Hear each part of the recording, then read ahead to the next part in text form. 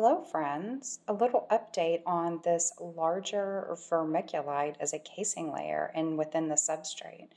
We did a mix of that finer vermiculite that we're used to along with that thicker vermiculite. And somebody in the comments had a great suggestion that 50-50 might actually be perfect. And so that's what we have here and we have a little bit different setup. We're not using our grow tent right now. We've been getting some cold snaps where we are. And so we're just using this little Martha cabinet that we have.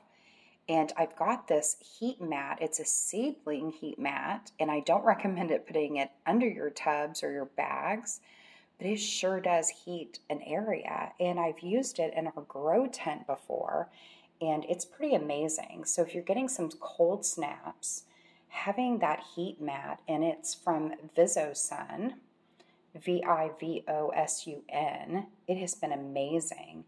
So normally we don't have as much moisture on the side of the tub, so this just might be something with this larger vermiculite, but you can see this casing layer through the tub and these are different types of mushrooms. So this one is still colonizing within the closed top.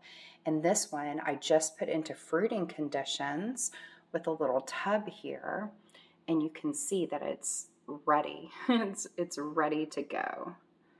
Ready to go. Different types, of course. So this type is actually known for growing up like that, the mycelium on the side. This is very normal. Again, we're not used to as much moisture on the side, but it could just be this larger vermiculite and because I've got this heat, the seedling heat mat in here. So when you add heat or warmth, it really changes the environment. And so we just have these two little tubs going during this cold snap and not in our normal tent, but it's working perfectly. And I wanted to show you because you don't have to use a tent or a large Martha. You can just use a cabinet space that you might have, and that's what we're doing here. So I'm hoping that by showing you this little setup, you can see how easy it is to actually grow mushrooms at home, whether you use the tubs or use bags. So I will get back to you on the success of this vermiculite in the future, but it's looking really, really, really good.